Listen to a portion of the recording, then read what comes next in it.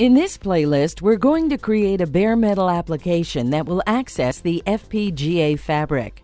First, we'll build and test the bare metal application in debug mode and then build it to run as a payload. Then build the HSS and program it into the ENVM. Next, we'll generate a payload of the bare metal application and program it into the eMMC. Finally, we'll boot up and test the application. To complete the steps shown in this playlist, you'll need the SoftConsole IDE along with the MSys2 on Windows to build the HSS and a serial emulator such as PuTTY. The FPGA design used in this playlist is the reference design available on GitHub.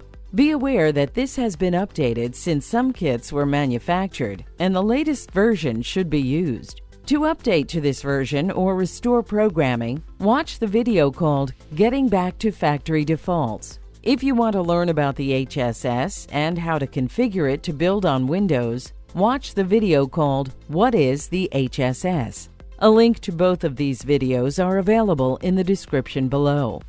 Finally, to connect to the Icicle kit for the steps in this playlist, connect the power cable as shown. To program the MSS or Fabric, Connect a micro USB cable to the connector in the bottom left, or to use an external programmer, use the header shown.